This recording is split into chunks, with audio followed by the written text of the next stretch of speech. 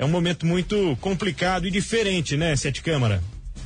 Um momento muito estranho, né, na vida de todos nós, porque é, ficar recluso em casa sem ter nenhum convívio social e é, é uma coisa muito diferente, né? Ter acostumado a levantar cedo, fazer alguma atividade física, daí trabalhar, chegar no fim do dia e de repente você se vê numa rotina completamente diferente, trancafiado dentro de casa, procurando o que fazer, muitas vezes.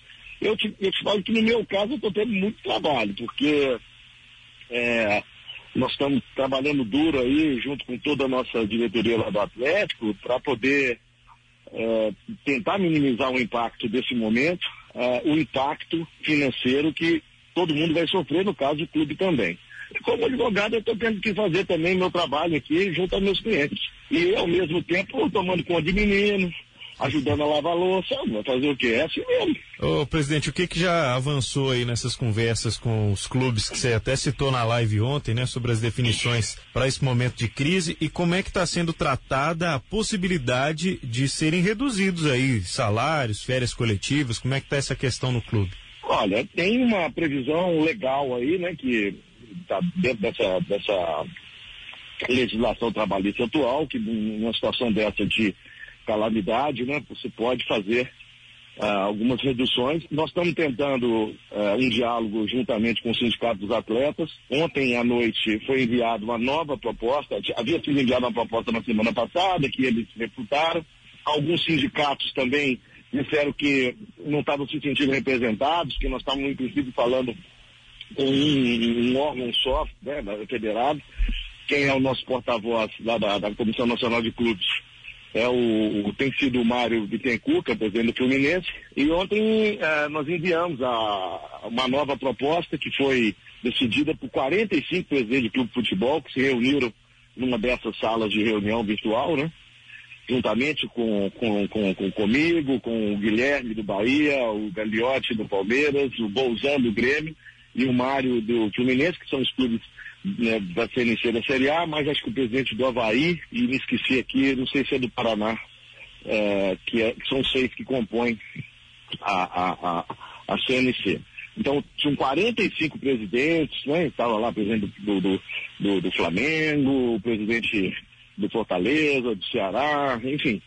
Então a proposta é única, né? Se decidiu, né, por todos, encaminhar uma proposta mas é uma, é uma segunda proposta que a gente está fazendo aí de, é, assim, de uma forma geral, uh, férias para os jogadores a partir de agora até o dia 20, a, a redução seria aquela proporcional, que é, é de 25%, e nesse interregno nós vamos estar tá, é, abrindo diálogo com os sindicatos para tentar encontrar soluções, porque se, se, por um lado os atletas têm é, legitimidade para exigir é, o pagamento dos seus salários, né? Por outro, tem que haver a compreensão de que a entidade que é a pagadora do salário não está tendo receita para poder pagar e aí se quebrar o futebol, quebra todo mundo.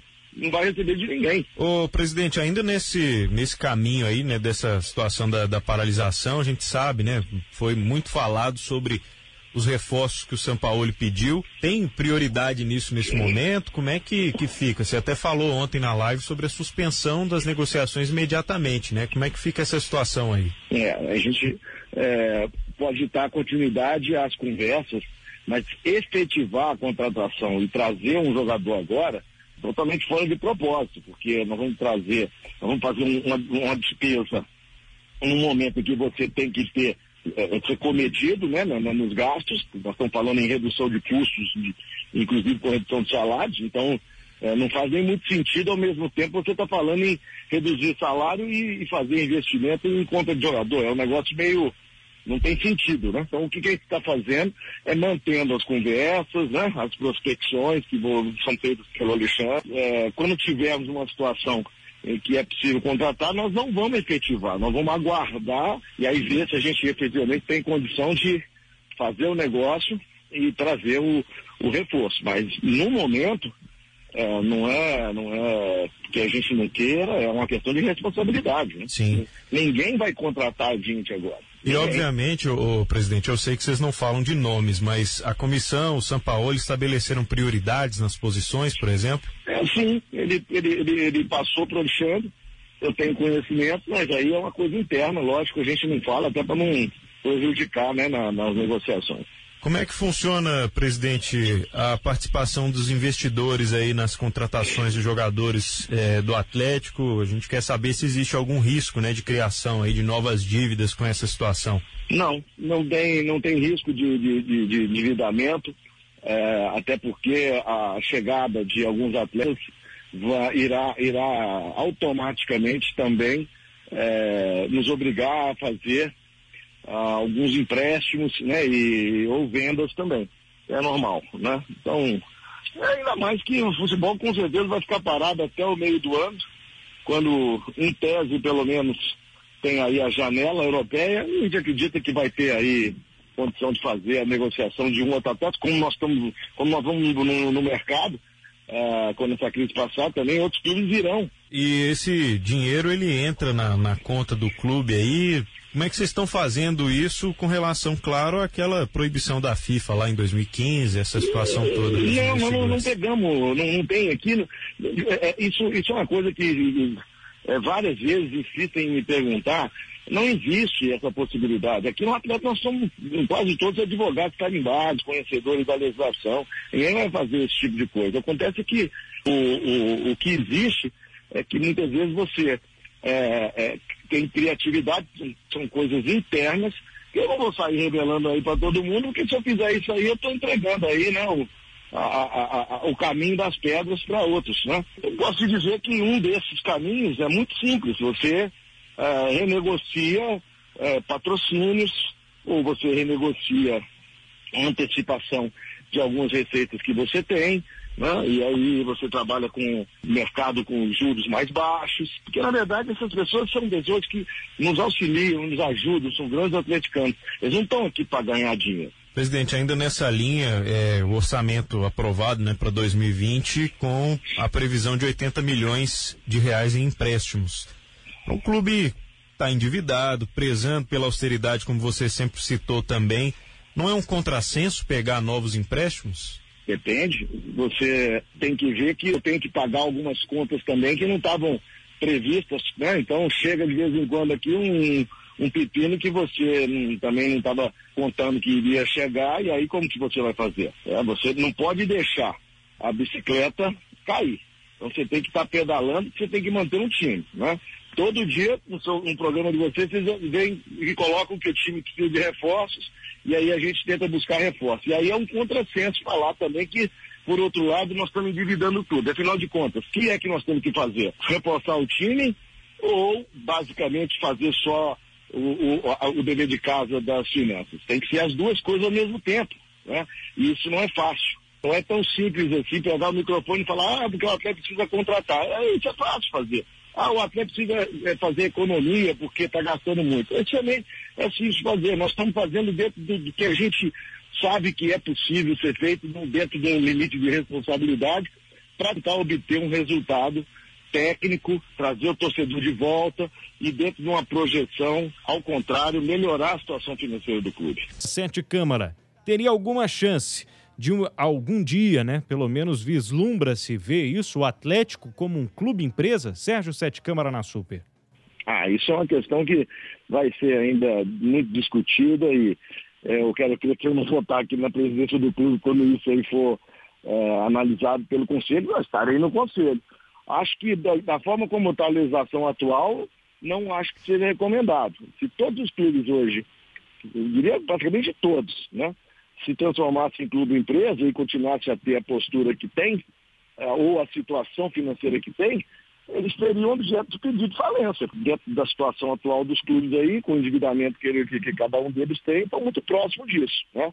O caso do Atlético, e aí você pode é, ter certeza disso, o Atlético ele tem um endividamento importante, mas ele tem um ativo muito maior do que o passivo. Significa dizer que o nosso patrimônio líquido, PL, é, que é exatamente aquela diferença entre o que você tem de patrimônio, é, e aí você leva em consideração é, receitas, é, patrimônio imobiliário, e até mesmo o, o valor calculado do elenco, né, atletas, etc., é, o nosso, o nosso é, PL ele é muito positivo. E, em resumo, Pedro, o que nós vamos tentar fazer não é vender o shopping, não é, é fazer, se, se desfazer de outro patrimônio. Nós vamos tentar achar no mercado, e nós estamos fazendo isso, né? Nós estamos tentando buscar no mercado dinheiro mais barato e, e chamar alguns credores para poder fazer a negociação, reduzindo e parcelando aquilo que o Atlético tem é, de dívida com eles. E você falou aí sobre talvez possa até não estar quando esse pensamento vier a ser discutido no Atlético. Você está em campanha para se reeleger, Seticão? Não, não. Não estou em campanha. Até porque acho que é, o, o, o, o momento é inoportuno para isso. Vou cumprir o meu mandato, o meu primeiro mandato. E quando eu estiver lá para o mês de setembro, eu penso se eu vou querer sair para a reeleição ou não. Mas, em princípio, acho que querer sair para a reeleição é super legítimo, né? Até porque, no frigir dos ovos, embora o resultado do campo não tenha sido o melhor, também não foi tão desastroso assim. Ah, o, o, Atlético está na Série A, o Atlético participou de competições internacionais. Eu, eu dentro daquilo que você me perguntou, acho que, que assim, ah, numa avaliação geral de gestão e, e futebol, né, me sinto legitimado a sair para a reeleição, até porque estou preparando o terreno exatamente para que os próximos três anos sejam melhores do que esses três primeiros aí, em que eu tive que fazer uma série de medidas de corte e de ajustes para poder depois montar um time performado. Pode ser que eu chegue lá em setembro entendo que não é o caso, ou que eu, que eu, que eu realmente estou desgastado, ou que eu esteja precisando dar um tempo também para cuidar das minhas coisas. Efetivamente, eu envelheci nesses dois anos e pouco aí, muito, por conta do Atlético.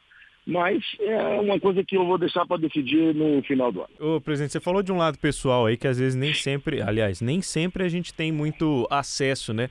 Mas você anunciou, por exemplo, aí o Rafael, o Tardelli, o próprio Sampaoli através do seu Twitter, que você não era muito ativo, né? O que é que tá te motivando a estar tá mais ativo nas redes sociais, esse contato mais próximo com o torcedor, como na live de ontem? Olha, é, eu sou uma pessoa assim que é, não gosto muito de ficar aparecendo. Você pode ver que eu nunca apresentei um jogador.